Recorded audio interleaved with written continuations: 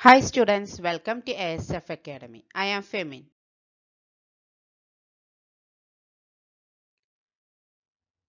Today we are going to discuss what is scientific management and techniques of scientific management.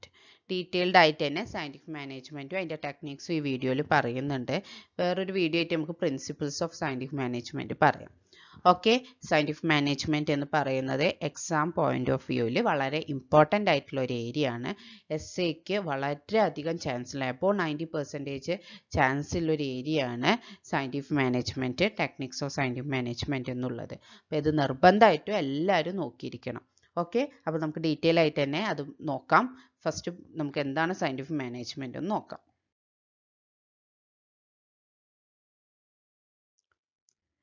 Scientific മാ scientific management എന്ന് പറയാനുള്ള ഒരു concept actually വന്നത് later part of nineteenth സെഞ്ചുറിയിലാണ് അതായത് nineteen സെഞ്ചുറിയുടെ അവസാന കാലങ്ങളിലാണ് scientific management എന്ന് പറയാൻ തുടങ്ങിയത്. ആക്ച്വലി ഇത് കൊണ്ടുവന്നത് എഫ് ഡബ്ല്യു ടൈലർ എന്നുള്ള ഒരു വ്യക്തിയാണ്. നമുക്ക് എല്ലാവർക്കും അറിയാം.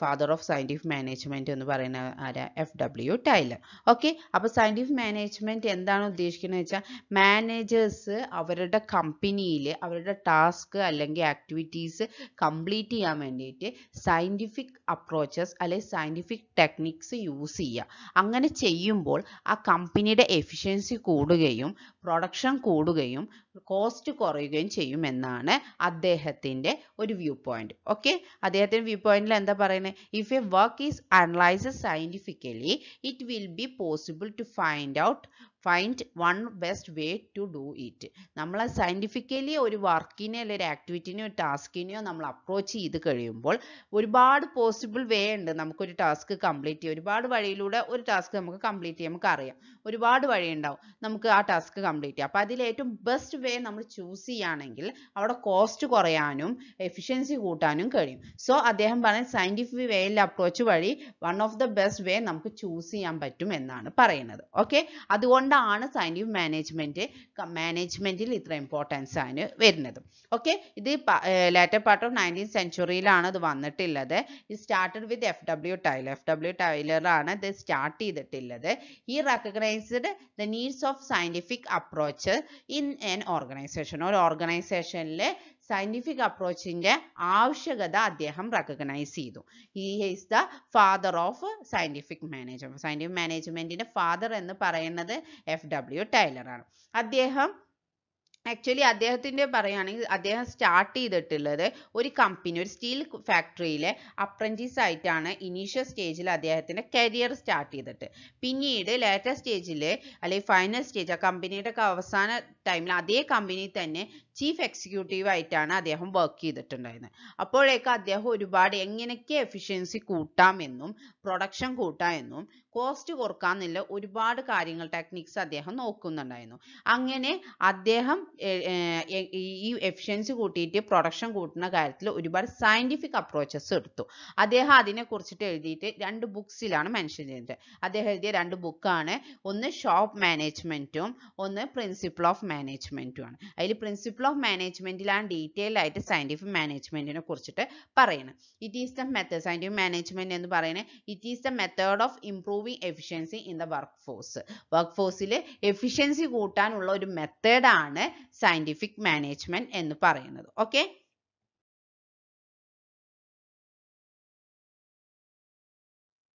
ഓക്കെ അപ്പോൾ നെക്സ്റ്റ് എന്ന് പറയുന്നത് ഈ സയന്റിഫിക് മാനേജ്മെന്റിൽ പറയുമ്പോൾ management theory uses scientific method to assess work process അവരുടെ വർക്ക് പ്രോസസ്സ് അസസ് ചെയ്യാൻ വേണ്ടി അവിടെ സയന്റിഫിക് മെത്തേഡ്സ് ആണ് മാനേജ്മെന്റ് യൂസ് ചെയ്യുന്നത്. ഇതൊക്കെ പറഞ്ഞാണ് പോയിന്റ് ഔട്ട് ചെയ്തിട്ടുണ്ട് പോയിന്റ് ഔട്ട് ചെയ്യുന്നത്. ഇനി ഇതിന് വേണ്ടി അദ്ദേഹം മൂന്ന് സ്റ്റെപ്സ് ആണ് യൂസ് ചെയ്തത് ത്രീ സ്റ്റെപ്സ് ആണ് യൂസ് ചെയ്തിട്ടുള്ളത്. അത് ഏതാന്ന് വെച്ചാൽ ഒബ്സർവേഷൻ എക്സ്പെരിമെന്റേഷൻ ആൻഡ് അനാലിസിസ് ഇങ്ങനെ മൂന്ന് സ്റ്റെപ്പ് വഴിയാണ് ഈ സയന്റിഫിക് മാനേജ്മെന്റിനെ കൊണ്ടുവരുന്നത്.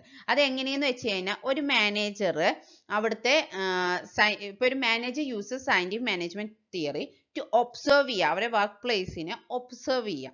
അങ്ങനെ ഒബ്സേർവ് ചെയ്യുമ്പോൾ അതിൽ ഒരു ടാസ്ക് കംപ്ലീറ്റ് ചെയ്യാൻ വേണ്ടി ടെസ്റ്റ് ചെയ്യുക ഡിഫറെന്റ് മെത്തേഡ്സ് വെച്ച് ടെസ്റ്റ് ചെയ്യുക ഒരു വർക്കിനെ ഒബ്സർവ് ചെയ്യുക എന്നിട്ട് ആ വർക്ക് കംപ്ലീറ്റ് ചെയ്യാൻ ഡിഫറെന്റ് മെത്തേഡ്സ് യൂസ് ചെയ്ത് ടെസ്റ്റ് ചെയ്യുക അങ്ങനെ ടെസ്റ്റ് ചെയ്തിട്ട് അതിനെ അനലൈസ് ചെയ്യുക ഒരു വർക്ക് കംപ്ലീറ്റ് ചെയ്യുക ഒന്നിൽ കൂടുതൽ മെത്തേഡ്സ് നമുക്ക്. ഫോർ എക്സാമ്പിൾ നമ്മൾ പറയുകയാണെങ്കിൽ ഒരു പ്രൊഡക്ഷൻ നടന്നു.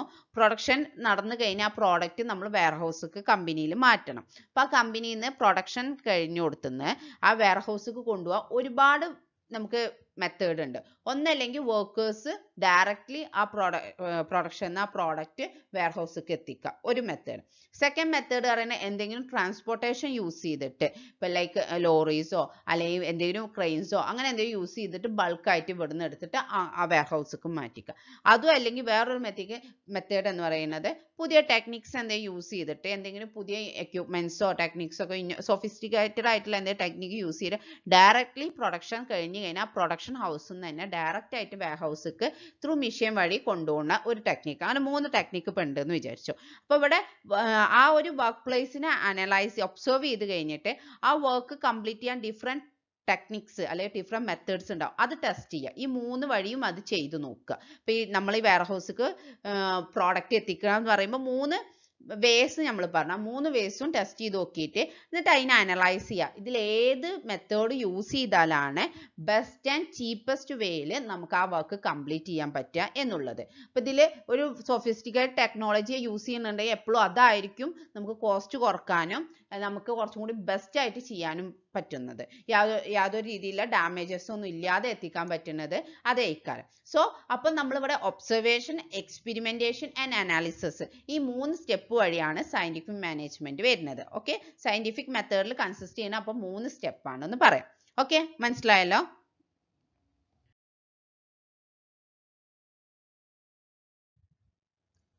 നെക്സ്റ്റ് നമ്മൾ ഡെഫിനിഷൻ ആണ് പറയാൻ പോകുന്നത്. Scientific management F W Taylor and എഴുതിയ ഡെഫിനിഷൻ ആണ് നമ്മൾ പറയാൻ പോകുന്നത്. ഓക്കെ ഇതിൽ പോകുന്നതിന് മുന്നേ ബിഫോർ ദാറ്റ് ജസ്റ്റ് ഒരു കാര്യം കൂടി പറയാം. ഈ സയന്റിഫിക് മാനേജ്മെന്റിൽ എപ്പോഴും സബ്സ്റ്റിറ്റ്യൂട്ട് ചെയ്യണ റൂൾ ഓഫ് തമ്പാണ് ഓക്കെ അത് അവിടെ പറയാൻ ഒന്ന് വിട്ടുപോയതാണ്. അപ്പോൾ ഇപ്പോൾ ഒന്നും പറയാം. നിങ്ങൾ സൈനിക് മാനേജ്മെന്റിന് എന്ത് എസ് എഴുതുമ്പോഴും അതിൽ മെയിൻ ആയിട്ട് ഇൻക്ലൂഡ് ചെയ്യേണ്ട ഒരു സെന്റൻസ് ആണ് സയന്റിഫിക് മാനേജ്മെന്റ് എപ്പോഴും സബ്സ്റ്റിറ്റ്യൂട്ട് ചെയ്യുന്നത് എന്തിനെയാണ്? റൂൾ ഓഫ് തമ്പിനെ റൂൾ ഓഫ് തമ്പ് എന്ന് പറയുന്നത് എന്താണ്? ഡിസിഷൻ ടേക്കൺ ചെയ്യാം. മാനേജേഴ്സ് ഡിസിഷൻ ടേക്കൺ ചെയ്യുന്നത് based on their personal judgement അവരുടെ പേഴ്സണൽ ജഡ്ജ്മെന്റ് വെച്ചിട്ടാണ് എപ്പോഴും മാനേജേഴ്സ് നോർമൽ ലെവലിൽ ഡിസിഷൻസ് എടുക്കുക. അതായത് അവരൊരിക്കലും ഒരു എക്സാക്ട് കാൽക്കുലേഷൻ വെച്ചിട്ട് ആവില്ല അത് ചെയ്യേണ്ടാവുക. അവരെ എക്സ്പീരിയൻസസ് ഒക്കെ വെച്ച് പൊതുവെ ജനറലി ആ ഒരു സിറ്റുവേഷൻ വന്നാൽ എല്ലാവരും എന്താണോ ചെയ്യണത് അത് ഫോളോ ചെയ്യാന്നില്ലാണ് റൂൾ ഓഫ് തമ്പ് എന്ന് ഉദ്ദേശിക്കുന്നത്. പക്ഷെ ടൈലർ സജസ്റ്റ് ചെയ്യുന്നത് എഫ് ഡബ്ല്യു ടൈലർ സജസ്റ്റ് ചെയ്യുന്നത് managers should not take any decision based on the rule of thumb ഒരിക്കലും റൂൾ ഓഫ് തമ്പിന്റെ ബേസിൽ മാനേജേഴ്സ് ഡിസിഷൻ എടുക്കാൻ പാടില്ല. പകരം they follow scientific management principle for taking such a decision ആ decisions എടുക്കാൻ അവർ scientific management principle ആണ് യൂസ് ചെയ്യേണ്ടത് എന്നാണ് അദ്ദേഹം പറയുന്നത്. സോ ഈ ഒരു പോയിന്റും കൂടി നിങ്ങൾ ജനറൽ ആയിട്ട് മീനിങ് ആയിട്ട് സയന്റിഫിക് മാനേജ്മെന്റ് എഴുതണം. സയന്റിഫിക് മാനേജ്മെന്റിൽ ഇത് സബ്സ്റ്റിറ്റ്യൂട്ടഡ് എന്തിനെ സബ്സ്റ്റിറ്റ്യൂട്ട് ചെയ്യുന്ന റൂൾ ഓഫ് തമ്പ് എന്നുള്ള ഒരു ടാഗിനെയാണ് സബ്സ്റ്റിറ്റ്യൂട്ട് ചെയ്യുന്നത്. ഓക്കെ ഇനി നമുക്ക് ഡെഫിനിഷൻ നോക്കാം. Definition of scientific management according to F W Taylor scientific management means exactly what you want men to do and see that they do it in the best and cheapest way വളരെ famous ആയിട്ടുള്ള ഒരു definition നമ്മൾ even നമ്മളുടെ മാനേജ്മെന്റിന്റെ definition പറയുമ്പോൾ കൂടി അവിടെ ഒരുപാട് ഡെഫിനിഷൻ പറഞ്ഞാൽ one of the definition F W ടൈലറിന്റെ definition ആയിരുന്നു.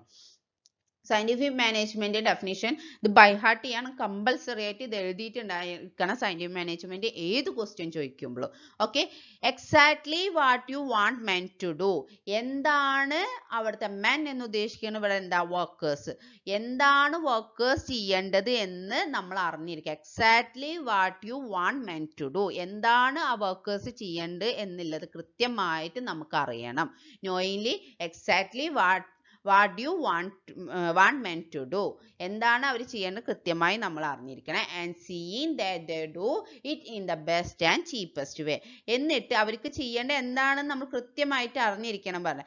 എന്നിട്ട് അത് ഏറ്റവും ബെസ്റ്റ് ആൻഡ് ചീപ്പസ്റ്റ് വേയിൽ എങ്ങനെ ചെയ്യാന്നുള്ളത് കാണൽ അല്ലെ കണ്ടുപിടിക്കലാണ് സയന്റിഫിക് മാനേജ്മെന്റ് എന്ന് പറയുന്നത്. ഓക്കെ അതായത് ഒരു വർക്കർ ആ വർക്ക് എന്താ ചെയ്യേണ്ടത്? ആ കമ്പനി ഒരുപാട് വർക്കേഴ്സ് ഉണ്ടാവും ഓരോ വർക്കേഴ്സിനും വ്യത്യസ്തമായ ഡ്യൂട്ടീസും റെസ്പോൺസിബിലിറ്റീസ് ആണ്. അപ്പോൾ ഒരു പെർട്ടിക്കുലർ എ എന്നാണ് ഫോർ എക്സാമ്പിൾ എ എന്നുള്ള ഒരു വർക്കർക്ക് ഇന്നതാണ് അയാളുടെ ജോലി അല്ലെ ജോബ് എന്ന് കൃത്യമായിട്ട് നമ്മളുടെ മാനേജ്മെന്റ് അറിഞ്ഞിരിക്കണം. എന്നിട്ട് ആ വ്യക്തി അത് ചെയ്യേണ്ട ഏറ്റവും ബെസ്റ്റ് വേ ഏതാണെന്നും ഏറ്റവും ചീപ്പസ്റ്റ് വേ ഏതാണെന്നും നമ്മൾ കണ്ടെത്തിയിരിക്കണം. അതിന് അപ്പം അങ്ങനെ ചെയ്യുന്നത് വഴി കമ്പനിയുടെ എഫിഷ്യൻസി കൂടുകയും കോസ്റ്റ് കുറയ്ക്കാൻ പറ്റുകയും ടൈം ടൈം സേവ് ചെയ്യാൻ പറ്റുകയും ചെയ്യുന്നു. ഓക്കെ അപ്പോൾ ഇവിടെ time saving and cost saving ആണ് ഏറ്റവും ഇമ്പോർട്ടന്റ് ആയിട്ട് വരുന്നത്. എന്തിൽ? Scientific management and also increasing the efficiency of the work force work ഫോഴ്സിന്റെ എഫിഷ്യൻസി ഇൻക്രീസ് ചെയ്യാനും പറ്റും. So exactly what you want men to do പറയുന്നത് എന്താണോ വർക്കേഴ്സ് ചെയ്യേണ്ടത് എന്ന് അറിഞ്ഞിരിക്കണം. ആര്? സൈൻ മാനേജ്മെന്റ് ആൻഡ് ദെൻ ആ വർക്ക് എന്താ ചെയ്യേണ്ടതെന്ന് പറഞ്ഞാൽ ആ വർക്ക് ബെസ്റ്റ് ഏറ്റവും ബെസ്റ്റ് മെത്തേഡ് ഏതാണ്? പോസിബിൾ മെത്തേഡ്സ് ഒരുപാട് ഉണ്ടാവും അതിൽ ഏറ്റവും ബെസ്റ്റ് മെത്തേഡ് ഏതാണെന്നും. അതേപോലെ ആ ബെസ്റ്റ് മെത്തേഡ് എന്ന് പറയുന്നത് ചീപ്പസ്റ്റ് മെത്തേഡ് അതിൽ തന്നെ ഏറ്റവും best best and cheapest method ഏതാണ്? നമ്മൾ കണ്ടെത്തിയിരിക്കണം. അത് ചെയ്യുന്നതിനെയാണ് ആ ഒരു പ്രോസസ്സിനെയാണ് സയന്റിഫിക് മാനേജ്മെന്റ് എന്ന് പറയുന്നത്. ഓക്കെ മനസ്സിലായില്ലേ?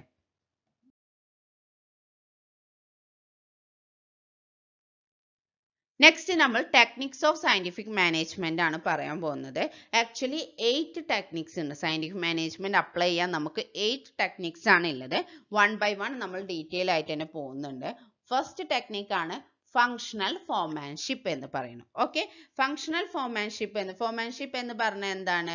സൂപ്പർവൈസർ എന്നുള്ള അർത്ഥം. ഓക്കെ ഫോർമാൻ പറഞ്ഞ സൂപ്പർവൈസർ ഫോമാൻഷിപ്പ് അല്ല സോറി ഫോർമാൻ എന്ന് പറഞ്ഞാൽ സൂപ്പർവൈസർ എന്നുള്ള അർത്ഥമാണ്. ഓക്കെ സോ ഫങ്ഷൻ ഫോമാൻഷിപ്പ് എന്ന് ഉദ്ദേശിക്കുന്നത് Taylor has proposed function foremanship technique for supervising work വർക്കേഴ്സിനെ supervise ചെയ്യാൻ വേണ്ടി സൂപ്പർവൈസിങ് ചെയ്യാൻ വേണ്ടി ടൈലർ പ്രൊപ്പോസ് ചെയ്ത ഒരു ടെക്നിക്കാണ് ഫങ്ഷണൽ ഫോമാൻഷിപ്പ് അപ്പൊ എന്താണ്? ലോവർ ലെവലിൽ പ്രൊഡക്ഷൻ ലെവലിൽ വരുന്ന വർക്കേഴ്സിനെ സൂപ്പർവൈസിങ് ചെയ്യലാണ് ഫോമാൻഷിപ്പിൽ വരുന്നത്. ഓക്കെ ബേസിക് ആയിട്ട് മനസ്സിലായില്ലോ? സോ ഇതിന് വേണ്ടിയിട്ട് കമ്പനിയിൽ ടൈലർ സജസ്റ്റ് ചെയ്യുന്നത് Taylor suggest to improve the performance of foreman അല്ലെങ്കിൽ supervisor to increases the efficiency of the organisation ഒരു ഓർഗനൈസേഷന് എഫിഷ്യൻസി കൂട്ടണമെങ്കിൽ അവിടുത്തെ സൂപ്പർവൈസർ അല്ലെ ഫോർമാന്റെ പെർഫോമൻസ് ഇംപ്രൂവ് ചെയ്യാണ് വേണ്ടത്. സോ ഒരു ഫോർമാൻ അവരുടെ വർക്ക് ചെയ്യുമ്പോൾ എപ്പോഴും പ്രൊഡക്ഷനിൽ പ്ലാനിങ് ഉണ്ടാവണം. ആ പ്ലാനിങ് ഇംപ്ലിമെന്റേഷൻ ചെയ്യണം ആൻഡ് കൺട്രോളിങ്ങും വേണം. സോ പ്ലാനിങ് ഇംപ്ലിമെന്റേഷൻ കൺട്രോളിങ് എന്ത് വേണം? ഈ മൂന്ന് ആസ്പെക്ടസ് ആണ് ഒരു ഫോമാൻഷിപ്പിൽ വരുന്നത്. Okay planning implementation and controlling ഇത് മൂന്ന് ഫോമാൻഷിപ്പിൽ വരുന്നത് പറയുമ്പോൾ റിലേറ്റഡ് ടു പ്രൊഡക്ഷൻ പ്രൊഡക്ഷന് റിലേറ്റ് ചെയ്തിട്ടില്ല. പ്ലാനിങ് ഇംപ്ലിമെന്റേഷൻ കൺട്രോളിംഗ് ആണ് ഒരു ഫോർമാൻഷിപ്പിൽ വരുന്നത്. സോ ആ ഫോർമാനെ ഇംപ്രൂവ് ചെയ്ത് കഴിഞ്ഞാൽ അദ്ദേഹത്തിന്റെ പെർഫോമൻസ് ഇംപ്രൂവ് ചെയ്താൽ കമ്പനിയുടെ എഫിഷ്യൻസി കൂടുന്നാണ് ടൈലർ സജസ്റ്റ് ചെയ്തത്. So that for that Taylor identify a list of qualities of a good foreman ഒരു ഗുഡ് ഫോർമാനെ എന്തൊക്കെ ക്വാളിറ്റീസ് ആണെന്നില്ല ടൈലർ സജസ്റ്റ് ചെയ്തിട്ടുണ്ട്. അല്ലെങ്കിൽ ലിസ്റ്റ് ഔട്ട് ചെയ്തിട്ടുണ്ടായിരുന്നു. പക്ഷേ he found that no single person could fit them all അതായത് ഒരു പെർട്ടിക്കുലർ വ്യക്തിക്ക് എല്ലാ ക്വാളിറ്റീസും കൂടി ഒന്നിച്ച് ഉണ്ടാവില്ല എന്ന് അദ്ദേഹം ഐഡന്റിഫൈ ചെയ്തു. ഇവിടെ ക്വാളിറ്റീസ് ഉദ്ദേശിക്കുന്നത് എഡ്യൂക്കേഷൻ ടെക്നിക്കൽ സ്കില്ല് അതേപോലെ തന്നെ അദ്ദേഹത്തിന്റെ ഹാൻഡിൽ റിക്വയർമെന്റ്സിന് ഹാൻഡിൽ ഒരു ജോബ് കംപ്ലീറ്റ് ചെയ്യുന്നതിന് ഒരുപാട് ആസ്പെക്ടസ് ഉണ്ട്. അതിൽ എല്ലാ വർഷത്തെ കുറിച്ചിട്ടും ഇപ്പൊ ടെക്നിക്കൽ സൈഡും പ്ലാനിങ് സൈഡും അല്ലെങ്കിൽ അതിന്റെ സ്കിൽസ് ഇന്റലിജൻസ് സ്കിൽസ് എല്ലാം കൂടി ഒരു വ്യക്തിക്ക് കംപ്ലീറ്റ് ആയിട്ട് ഉണ്ടാവില്ല എന്ന് ആര് ടൈലർ ഐഡന്റിഫൈ ചെയ്യും. This leads him to suggested functional foremanship through eight form eight persons അങ്ങനെ ഇതിൽ നിന്നാണ് ഈ ഫങ്ഷണൽ ഫോർമാൻഷിപ്പ് ഉണ്ടായത്. ഒരു ഫോർമാനെ കൊണ്ട് ടോട്ടൽ വർക്ക് കൺട്രോൾ ചെയ്യുക സൂപ്പർവൈസ് ചെയ്യുക എന്നുള്ളത് നടക്കില്ല എന്ന് അദ്ദേഹത്തിന്റെ കണ്ടെത്തലിൽ നിന്നാണ് ഈ ഫങ്ഷണൽ ഫോർമാൻഷിപ്പ് എന്നുള്ളത് ഇൻട്രൊഡ്യൂസ് ആവുന്നത് ഓക്കെ അപ്പൊ ഇതിൽ എന്താ പറയുക it is a techniques which involve supervision of each worker by eight supervisors okay ഇതെന്ന് പറയുന്ന? ഒരു ടെക്നിക്കാണ് ഇവിടെ സൂപ്പർവൈസ് സൂപ്പർവിഷൻ ചെയ്യുക ഓരോ വർക്കേഴ്സിനും സൂപ്പർവൈസ് ചെയ്യുന്നത് എട്ട് സൂപ്പർവൈസേഴ്സ് ആണ് എന്നാണ്. അപ്പൊ ഇതിലേക്ക് നമുക്ക് ഒന്നും കൂടിയും വരാം. ഫങ്ഷണൽ ഫോർമാൻഷിപ്പ് വന്നത് എങ്ങനെയെന്ന് മനസ്സിലായില്ലേ? ഒരു വ്യക്തി ഒരു ഫോർമാന് എല്ലാ വർക്കും കൂടി കൺട്രോൾ ചെയ്യാൻ കഴിയില്ല എന്നില്ല വന്ന്. അങ്ങനെ അദ്ദേഹം മെയിൻ രണ്ട് ഹെഡായിട്ട് ടോട്ടൽ വർക്കിനെ അല്ലെ ടോട്ടൽ ഫോർമാൻഷിപ്പിനെ രണ്ട് മെയിൻ ഹെഡായിട്ട് സെപ്പറേറ്റ് ചെയ്യുന്നുണ്ട് he separate into main head അതായത് പ്ലാനിംഗ് ഫംഗ്ഷനും എക്സിക്യൂട്ടീവ് ഫംഗ്ഷനും ആണ്. ഓക്കെ ഈ വർക്ക് പറയുന്ന ഫോർമാൻഷിപ്പ് എവിടെയാണ് നടക്കുന്നത് lower level of the shop ഫ്ലോറിലാണ് നടക്കുന്നത് ഫാക്ടറിയുടെ പ്രൊഡക്ഷൻ ഏരിയയിലാണ് ഈ ഒരു ഫോർമാൻഷിപ്പ് നടക്കുന്നത് സോ ദാറ്റ് ഇതിനെ പറയുന്ന ഫങ്ഷണൽ ഫോർമാൻഷിപ്പ് എന്ന് പറയാം. ഇനി ഓക്കെ ഈ രണ്ട് ഹെഡായിട്ട് തിരിച്ചിട്ടുണ്ട്. പ്ലാനിങ് ഇൻചാർജും പ്രൊഡക്ഷൻ ഇൻചാർജ് ആയിട്ട് സെപ്പറേറ്റ് ചെയ്തിട്ടുണ്ട്. എഗെയിൻ ഈ പ്ലാനിങ് ഇൻചാർജിന്റെ അണ്ടറിൽ നാല് ഹെഡായിട്ടും പ്രൊഡക്ഷൻ ഇൻചാർജിന്റെ അണ്ടറിൽ നാല് ഹെഡായിട്ടും തിരിച്ചിട്ടുണ്ട്. അങ്ങനെയാണ് ടോട്ടൽ എയ്റ്റ് സൂപ്പർവൈസേഴ്സ് അല്ലെങ്കിൽ എയ്റ്റ് ഫോർമാൻസ് വരുന്നത് ഈ എയ്റ്റ് ഫോർമാൻസ് ടോട്ടൽ എംപ്ലോയീസിനെ അല്ലെ ടോട്ടൽ വർക്കേഴ്സിനെ എന്ത് ചെയ്യുക? സൂപ്പർവൈസ് ചെയ്യാണ് ചെയ്യുന്നത്. അപ്പോൾ each workers will have to take orders from these eight foremans ഈ എട്ട് ഫോർമാൻസ് നിന്നിട്ടാണ് ഈ എല്ലാ അവിടെ വരുന്ന എല്ലാ വർക്കേഴ്സും ഓർഡർ ടേക്കൺ ചെയ്യേണ്ടത്. ഓക്കെ ഇനി ഇതിനെ ഡീറ്റെയിൽഡ് ആയിട്ട് നമുക്ക് പറയാം with a chart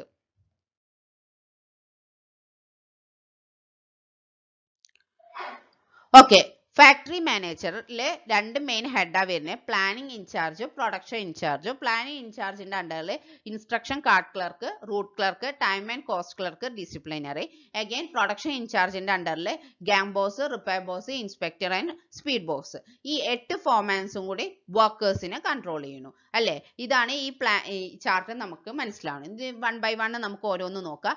Planning in charge planning charge പറഞ്ഞാൽ പ്ലാനിങ് ആണ് അവിടെ നടക്കുന്നത്. ആ ഫോർമാൻസ് എല്ലാം പ്ലാനിങ് ആണ് ചെയ്യുന്നത്.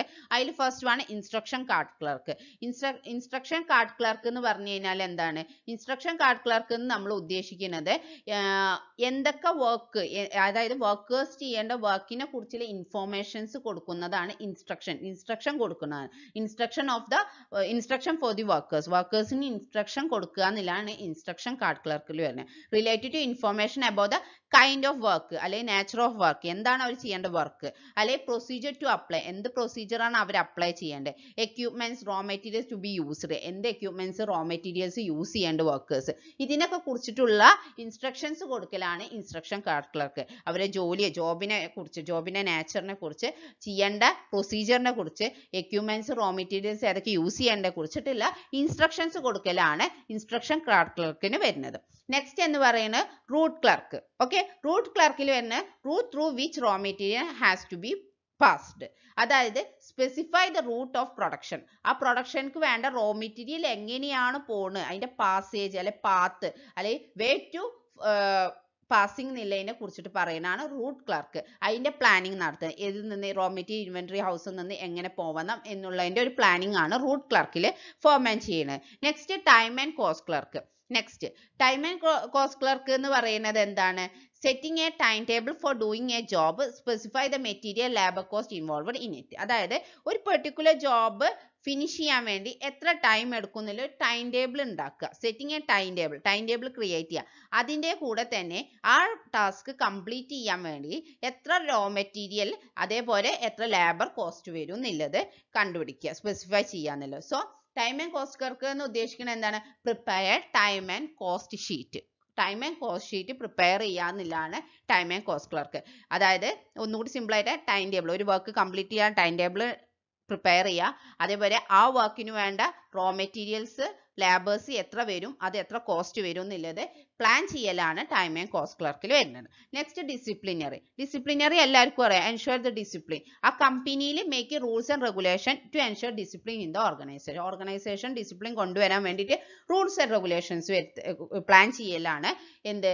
ഡിസിപ്ലിനറി പറയുന്ന ഫോമാൻസിന് okay next production in charge അപ്പോൾ പ്ലാനിങ് കഴിഞ്ഞു ഞാൻ അതിന്റെ എക്സിക്യൂഷൻ ആണ് ഈ പ്രൊഡക്ഷൻ ഇൻചാർജിൽ വരുന്നത്. ഓക്കെ അപ്പോൾ പ്രൊഡക്ഷന്റെ അണ്ടറിലും നാല് ഹെഡ്സ് ഉണ്ട്. അതിൽ ഫസ്റ്റ് ആണ് സ്പീഡ് ബോസ് നോക്കാം. സ്പീഡ് ബോസ് എന്ന് പറയുന്നത് എന്താണ്? സ്പീഡ് അപ്പോൾ അതിനെ സ്പീഡ് എന്നുള്ള വേർഡ് തന്നെ നമുക്കറിയാം. അവിടെ എങ്ങനെയാ കംപ്ലീറ്റ് ചെയ്യുക? ജോബ് കംപ്ലീറ്റ് ചെയ്യുക എന്നുള്ളതാണ് സ്പീഡ് ബോസിൽ വരുന്നത്. Okay for timely and accurately completion of job ആ ജോബ് അവർ ടാർഗറ്റ് ചെയ്ത പോലെ achieving work target in a timely manner ആ ടൈമിന്റെ അകത്ത് എങ്ങനെ അവർ ഓൾറെഡി പ്ലാൻ ചെയ്ത ആ ടാസ്ക് കംപ്ലീറ്റ് ചെയ്യലാണ് സ്പീഡ് ബോസിൽ വരുന്നത്. ഓക്കെ നെക്സ്റ്റ് എന്ന് പറയുന്നത് ഗ്യാം ബോസ് ഗ്യാം ബോസിൽ പറയുന്നത് keeping machines and tools and raw materials ready for operation by workers.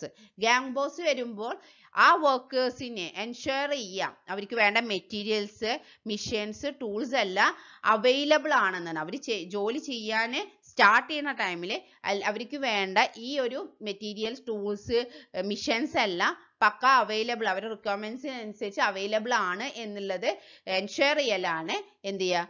Gang ബോസിന്റെ ഡ്യൂട്ടി എന്ന് പറയുന്നത്. ഓക്കെ നെക്സ്റ്റ് റിപ്പയർ ബോസ് നെയിമിൽ തന്നെ നിങ്ങൾക്ക് മനസ്സിലായിട്ടുണ്ട്.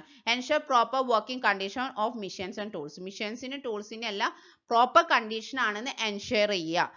ഒരു ഡാമേജോ അല്ലെങ്കിൽ എന്തെങ്കിലും റിപ്പയർസ് ഒന്നും ഇല്ല എന്ന് കൺഫേം ചെയ്യലാണ് റിപ്പയർ ബോസിന്റെ ഡ്യൂട്ടി നെക്സ്റ്റ് ഇൻസ്പെക്ടർ ഇൻസ്പെക്ടർ ആകുമ്പോൾ എന്താ? Check the quality of work വർക്കിന്റെ ക്വാളിറ്റി ചെക്ക് ചെയ്യലാണ് ഇൻസ്പെക്ടറിൽ വരുന്നത്. ഓക്കെ ആ വർക്കിന്റെ ക്വാളിറ്റി എന്താണോ ആസ് പെർ ദ സ്റ്റാൻഡേർഡ്സ് അനുസരിച്ചിട്ട് തന്നെയാണോ എന്ന് ചെക്ക് ചെയ്യുക. പ്ലാനിങ് അനുസരിച്ചിട്ട് തന്നെയാണോ ചെക്ക് ചെയ്യുക. ഓക്കെ ഇത് ആക്ച്വലി ഈ ഒരു ഫംഗ്ഷൻ ഫോർമാൻഷിപ്പ് എന്ന് പറയുന്നത് ഇത് ഇതൊരു എക്സ്റ്റൻഷൻ ആണ്. നമ്മൾ ഡിവിഷൻ ഓഫ് വർക്ക് എന്നുള്ള പ്രിൻസിപ്പിളിന്റെ ഒരു എക്സ്റ്റൻഷൻ ഫോം ആണ് ഈ ഫംഗ്ഷണൽ ഫോർമാൻഷിപ്പ് എന്ന് പറയുന്നത്. Okay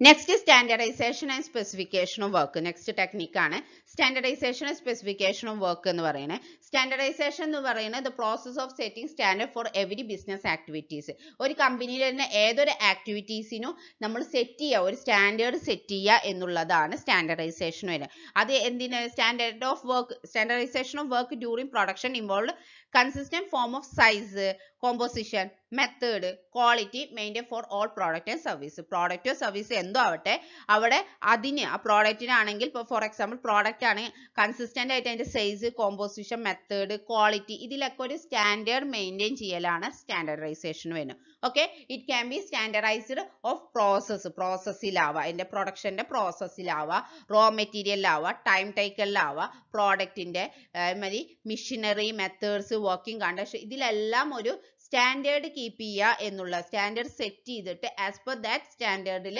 വർക്ക് നടത്തുക എന്നുള്ളതാണ് standardisation the standards are the benchmark actual വർക്കിനുള്ള actual production ടൈമിൽ അതിനുള്ള ഒരു ബെഞ്ച് മാർക്കാണ് ഈ സ്റ്റാൻഡേർഡ്സ് എന്ന് പറയുന്നത്. ഓക്കെ മനസ്സിലായല്ലോ?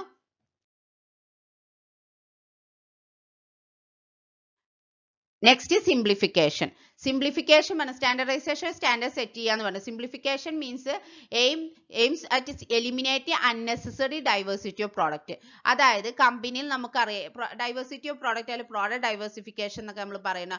ഒന്നിൽ കൂടെ പ്രോഡക്റ്റ് ആ പ്രോഡക്റ്റ് ലൈനിൽ ആഡ് ഓൺ ചെയ്യാന്നില്ലേ. അപ്പൊ പ്രോഫിറ്റബിൾ അല്ലാത്ത ഒരു പ്രോഡക്റ്റിനെ എലിമിനേറ്റ് ചെയ്യുക. അൺനെസസറി ആയിട്ട് ആ ഡൈവേഴ്സിറ്റിനെ കുറക്കുക. എലിമിനേറ്റ് ചെയ്യുക എന്നുള്ളതാണ് സിംപ്ലിഫിക്കേഷനിൽ പറയുന്നത്. അതുവഴി എന്താണ്? It result in saving of cost of labour machine and tools അപ്പോൾ അൺനെസസറി ആയിട്ട് അതായത് ആ ഒരു പ്രോഡക്റ്റ് കൊണ്ട് ആ ഒരു പ്രൊഡക്ഷൻ കൊണ്ട് കമ്പനിക്ക് യാതൊരു രീതിയിലെ പ്രോഫിറ്റും ഇല്ലെങ്കിൽ അത് നമ്മൾ എലിമിനേറ്റ് ചെയ്യുമ്പോൾ അതുവഴി നമുക്ക് കോസ്റ്റ് സേവ് ചെയ്യാൻ പറ്റും. ലേബേഴ്സിന്റെ കോസ്റ്റ് സേവ് ചെയ്യാൻ പറ്റും. മിഷ്യൻസിന്റെ കോസ്റ്റ് സേവ് ചെയ്യാൻ പറ്റും. ടൂൾസിന്റെ കോസ്റ്റ് സേവ് ചെയ്യാൻ so it result in saving of cost cost save ചെയ്യാൻ പറ്റും. It impulses reducing inventory and full utilisation equipment and increase in turnovers അപ്പോൾ ആ ഒരു പ്രോഫിറ്റബിൾ അല്ലാത്ത ആ പ്രൊഡക്ഷൻ നമ്മൾ നിർത്തുമ്പോൾ ഇൻവെന്ററി അല്ലെ റോ മെറ്റീരിയൽസ് നമുക്ക് യൂസ് ചെയ്യണം റെഡ്യൂസ് ചെയ്യും അതുവഴി എക്യുപ്മെന്റ്സിനെ ഫുള്ള് യൂട്ടിലൈസ് ചെയ്യാനും ടേൺ ഓവർ ഇൻക്രീസ് ചെയ്യാനും പ്രോഫിറ്റ് കൂട്ടാനുമാണ് നമുക്ക് സാധിക്കുക കമ്പനിയിൽ so simplification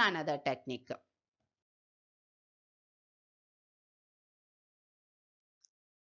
next method study third one ആ മെത്തേഡ് സ്റ്റഡി ഏറ്റവും ബെസ്റ്റ് മെത്തേഡ് ഏതാണെന്ന് ഐഡന്റിഫൈ ചെയ്യലാണ് മെത്തേഡ് സ്റ്റഡിയിൽ പറയുന്നത്. Okay to find out one best way of doing the job ആ ജോബ് വർക്ക് ചെയ്യാൻ വേണ്ടിയിട്ട് പോസിബിൾ മെത്തേഡ്സിലെ ഏറ്റവും ബെസ്റ്റ് മെത്തേഡ് ഏതാണെന്ന് ഐഡന്റിഫൈ ചെയ്യുക the objective of the all exercises to uh, is to minimizes the cost of production and maximizes the quality and satisfaction of customers. ഇതിന്റെ objective എന്ന് പറയുന്നത് കോസ്റ്റ് ഓഫ് പ്രൊഡക്ഷൻ കുറക്കുകയും minimise ചെയ്യുക. Cost of production പ്രൊഡക്ഷന്റെ cost minimise ചെയ്യുകയും ക്വാളിറ്റിയും customer സാറ്റിസ്ഫാക്ഷനും maximise ചെയ്യലുമാണ് ഓക്കെ ക്വാളിറ്റി മാക്സിമൈസ് ചെയ്യുമ്പോൾ ഓട്ടോമാറ്റിക്കലി കസ്റ്റമർ സാറ്റിസ്ഫാക്ഷനും ഇൻക്രീസ് ആവും. ഓക്കെ ഇതാണ് മെത്തേഡ്സ് ഏറ്റവും ബെസ്റ്റ് മെത്തേഡ് യൂസ് ചെയ്യുമ്പോൾ നമുക്ക് കോസ്റ്റ് കുറയ്ക്കാൻ പറ്റും. അപ്പോൾ ക്വാളിറ്റി നല്ല രീതിയിൽ കൂട്ടാം കസ്റ്റമേഴ്സിന്റെ സാറ്റിസ്ഫാക്ഷനും കിട്ടും. ഫോർ ദീസ് പർപ്പസസ് ഈ പർപ്പസിന് വേണ്ടി അവർ ഒരുപാട് ടെക്നിക്സ് യൂസ് ചെയ്യും. Like process start operation research അങ്ങനെ ഒരുപാട് ടെക്നിക്സ് യൂസ് ചെയ്തിട്ടാണ് ഏറ്റവും ബെസ്റ്റ് മെത്തേഡ് ഏതാന്നൊക്കെ അവർ ഐഡന്റിഫൈ ചെയ്യുന്നത്. ഇപ്പോൾ ഓപ്പറേഷൻ റിസർച്ചിലൊക്കെ ട്രാൻസ്പോർട്ടേഷൻ എങ്ങനെ ബെസ്റ്റ് ആക്കാന്നുള്ളതിന്റെ ഒരുപാട് ടെക്നിക്സ് ഒക്കെ ഉണ്ട്. അപ്പോൾ അതൊക്കെ എത്തുമ്പോൾ നിങ്ങൾ ഓപ്പറേഷൻ റിസർച്ച് ഒക്കെ പഠിക്കുമ്പോൾ അത് ഡീറ്റെയിൽ പഠിക്കും. അപ്പോൾ അതുവഴിയൊക്കെ ഏറ്റവും ബെസ്റ്റ് മെത്തേഡ് ഏതാണെന്ന് നമുക്ക് ഐഡന്റിഫൈ ചെയ്യാൻ പറ്റും. ഓക്കെ ഒരുപാട് സെവറൽ പാരാമീറ്റേഴ്സ് യൂസ് ചെയ്തിട്ട്.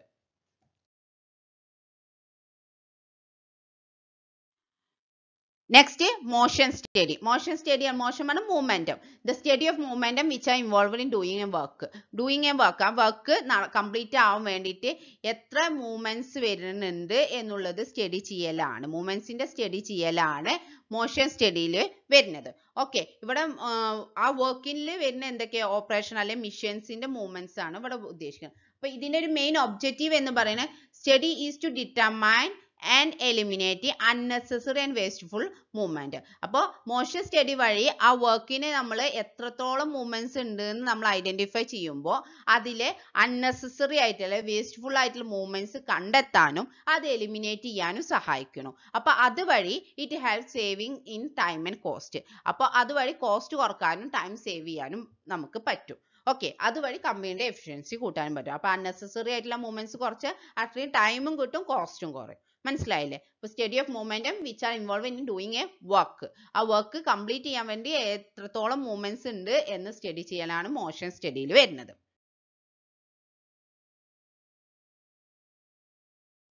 Next time study time study പറയുമ്പോൾ ടൈമിന് it determine standard time taken to perform a well defined job ഒരു വെൽ ഡിഫൈൻഡ് അല്ലെങ്കിൽ ഒരു ജോബ് കംപ്ലീറ്റ് ചെയ്യാൻ വേണ്ടിയിട്ട് എത്ര ടൈം എടുക്കും എന്നുള്ളത് ഡിറ്റർമൈൻ ചെയ്യും. സ്റ്റാൻഡേർഡ് ടൈം സെറ്റ് ചെയ്യലാണ് ടൈം സ്റ്റഡിയിൽ ചെയ്യുന്നത് ഇതിനു വേണ്ടി time measuring devices are used to sorry used for each element of task ഓരോ ടാസ്കിന്റെ ഈ ടൈം മെഷറിങ് ഡിവൈസസ് അവർ യൂസ് ചെയ്യുകയും the standard time is fixed for the all of the task by taking several reading ഒരുപാട് several readings use ചെയ്തിട്ട് ഒരു standard time ഓരോ ടാസ്കിനും അവർ set ചെയ്യുകയും ചെയ്യണം.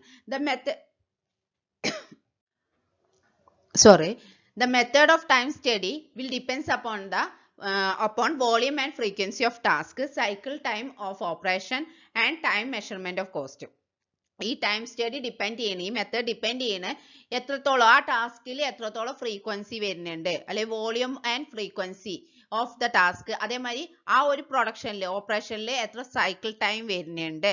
അതേമാതിരി ടൈം മെഷർമെന്റ് കോസ്റ്റ് ഇതിനൊക്കെ ഡിപ്പെൻഡ് ചെയ്തിട്ടാണ് ടൈം സ്റ്റഡി മെത്തേഡ് നമുക്ക് എടുക്കാൻ പറ്റും okay the objective of time study എന്ന് പറയുന്നത് to determine the number of workers to be employed അപ്പൊ ഇതിന്റെ ടൈം സ്റ്റഡിയുടെ ഒരു ഒബ്ജക്റ്റീവ് എന്ന് പറയുന്നത് ഒരു കംപ്ലീറ്റ് ഒരു ടാസ്ക് കംപ്ലീറ്റ് ചെയ്യാൻ മതി. എത്ര വർക്കേഴ്സ് വേണം എന്നുള്ള determine determine the number workers to be employed എത്ര വർക്കേഴ്സ് നമ്മൾ യൂസ് ചെയ്യണം എന്നുള്ളത് ഡിറ്റർമൈൻ ചെയ്യാൻ വേണ്ടിയിട്ട് ഈ ടൈം സ്റ്റഡി ഹെൽപ്പ് ചെയ്യും. അത് അതേപോലെ തന്നെ നമുക്ക് സ്യൂട്ടബിൾ ആയിട്ടുള്ള ഇൻസെന്റീവ് സ്കീംസ് ഫ്രെയിം ചെയ്യാൻ വേണ്ടിയിട്ട് ഇത് ഹെൽപ്പ് ചെയ്യുന്നുണ്ട്.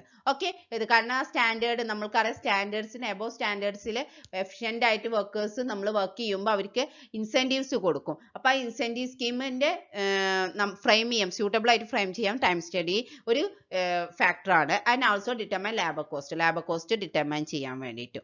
ഓക്കെ നെക്സ്റ്റ്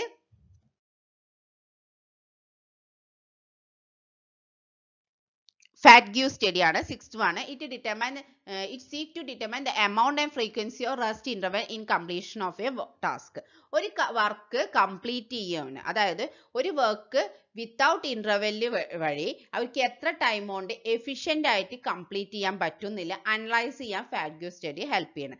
അതായത് ഒന്നും കൂടി ക്ലിയർ ആയിട്ട് പറയുകയാണെന്നുണ്ടെങ്കിൽ നമ്മളിപ്പോൾ ഒന്നും കൊടുക്കാതെ അവർ ഒരു വർക്കേഴ്സിനെ കണ്ടിന്യൂസ് ആയിട്ട് ഇപ്പോൾ എയ്റ്റ് അവേഴ്സ് അവരുടെ total work timing eight hours continuous ആയി കൊടുത്തു കഴിയുമ്പോൾ അവരിൽ ഫാഗ്യൂ അല്ലെങ്കിൽ റെസ്റ്റ് ഇല്ലാത്തതിന്റെ ആ ബുദ്ധിമുട്ട് അവർക്ക് വരും. അത് അവരുടെ ഹെൽത്തിന് ഇഷ്യൂ ഇഷ്യൂ ഹെൽത്ത് ഇഷ്യൂസിനാണ് അത് കാരണമാക്കണം. യാതൊരു രീതിയിൽ റെസ്റ്റ് ഇല്ലാതിരിക്കുമ്പോൾ സോ അതിന് ഓൾസോ ഇറ്റ് ഇൻഡയറക്റ്റ് ആയിട്ട് എന്തിനെ? നമ്മളെ കമ്പനിയാണ് ബാധിക്കുക അഡ്വേഴ്സ്ലി ആയിട്ട് കമ്പനീന്റെ എഫിഷ്യൻസിനെ എഫക്റ്റ് ചെയ്യും. അവർക്ക് എഫിഷ്യന്റ് ആയിട്ട് അവരുടെ കപ്പാസിറ്റി കുറയുമ്പോൾ എഫിഷ്യന്റ് ആയിട്ട് അവർക്ക് വർക്ക് ചെയ്യാൻ കഴിയില്ല. അതുവഴി കമ്പനിക്കാണ് അത് നെഗറ്റീവായിട്ട് ബാധിക്കുക. സോ ഒരു ഓരോ വർക്കിലും അവർക്ക് ഇന്റർവെൽസിന്റെ ആവശ്യമുണ്ട്. ഒരു ബ്രേക്ക് എടുക്കണം. അപ്പോൾ ഒരു ആൾക്ക് എത്ര ടൈം എത്ര ടൈം അല്ലെ എത്ര ഫ്രീക്വൻസി റെസ്റ്റ് interval വേണം ഒരു കംപ്ലീറ്റ് ചെയ്യാൻ ഒരു ടാസ്ക് കംപ്ലീറ്റ് ചെയ്യാന്നിൽ ഡിറ്റർമൈൻ ചെയ്യാൻ വേണ്ടിയിട്ടാണ് ഫാറ്റ് സ്റ്റഡി ഈ സി ടു ഡിറ്റർമൈൻ എമൗണ്ട് അല്ലെങ്കിൽ frequency of rest interval in complete ചെയ്യുന്ന ടാസ്ക് ഒരു ടാസ്ക് കംപ്ലീറ്റ് ചെയ്യണേ മുന്നേ ഉള്ളിൽ എത്ര ടൈം അവർക്ക് റെസ്റ്റ് ടൈം വേണം എന്ന് കാൽക്കുലേറ്റ് ചെയ്യുക. അതാണ് ഫാറ്റ് സ്റ്റഡിയിൽ പറയുന്നത്.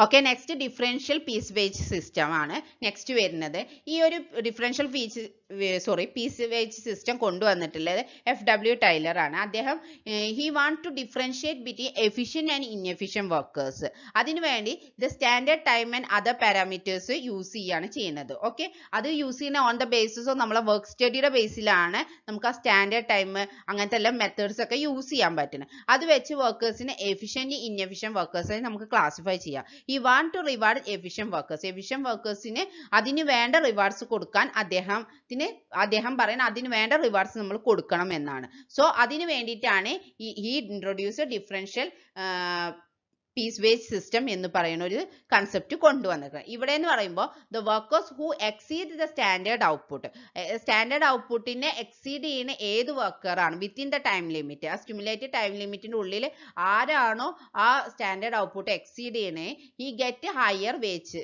അല്ലേ? ഈ get must be paid high rate of for higher production higher wage കിട്ടും ഫോർ ഹയർ പ്രൊഡക്ഷൻ അതായത് ആ സ്റ്റാൻഡേർഡ് ഔട്ട്പുട്ട് വിത്തിൻ ദ ലിമിറ്റിന്റെ ഉള്ളിൽ കംപ്ലീറ്റ് ചെയ്യുമ്പോൾ എബോവ് സ്റ്റാൻഡേർഡ് ഔട്ട്പുട്ട് എക്സീഡ് ചെയ്യുമ്പോൾ സ്റ്റാൻഡേർഡ് ഔട്ട്പുട്ട് ഉണ്ടാവും. ഇതിന്റെ മേലെ അവർ കടക്കുകയാണെങ്കിൽ അതിന് ഒരു സ്പെഷ്യൽ പേയ്മെന്റ് ലൈക്ക് ഇൻസെന്റീവ് ആവാം വേജസ് തന്നെ ആവാം കൊടുക്കുക ആ ഹയർ പ്രൊഡക്ഷന് വേണ്ടിയിട്ട്. അപ്പൊ എന്തായിരിക്കും നേരെ opposite workers is paid at low rate low rate ആർക്കാ കൊടുക്കുക? If you fail to reach level of output within the standard time standard time പോലും അച്ചീവ് ചെയ്യാത്ത ഔട്ട്പുട്ട് ലെവൽ വരുന്ന വർക്കേഴ്സിന് ലോവർ റേറ്റ് ആയിരിക്കും അവർ കൊടുക്കുന്നുണ്ടാവും ഓക്കെ മനസ്സിലായില്ലേ?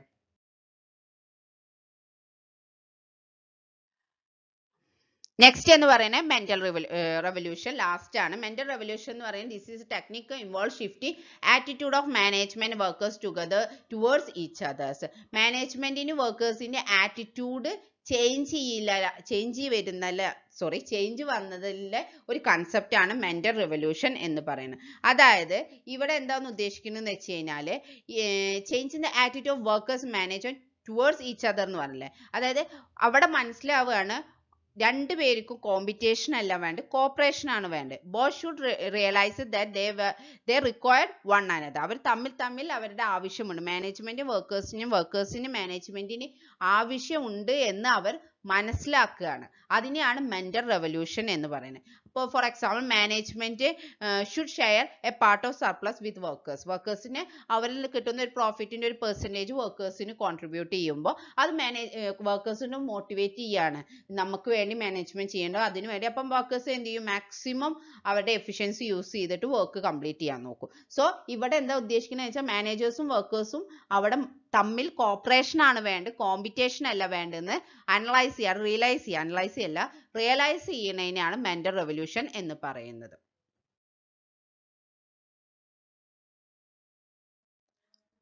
ഓക്കെ ഈ വീഡിയോ കുറച്ച് ലെങ്തി ആയി പോയി. എല്ലാം ഡീറ്റെയിൽ ആയി പറയുന്നതുകൊണ്ടാണ് നിങ്ങൾക്ക് വീഡിയോ ഇഷ്ടമായി എന്ന് വിചാരിക്കേണ്ടത് വീഡിയോ ഇഷ്ടമായെങ്കിൽ ലൈക്ക് ചെയ്യുക ഫ്രണ്ട്സിന് വേണ്ടി ഷെയർ ചെയ്യുക ചാനൽ ആദ്യമായിട്ട് കാണുകയും സബ്സ്ക്രൈബ് ചെയ്യുക. കൂടുതൽ ബെല്ലൈക്കൻ എനബിൾ ചെയ്യുക. Thank you have a nice day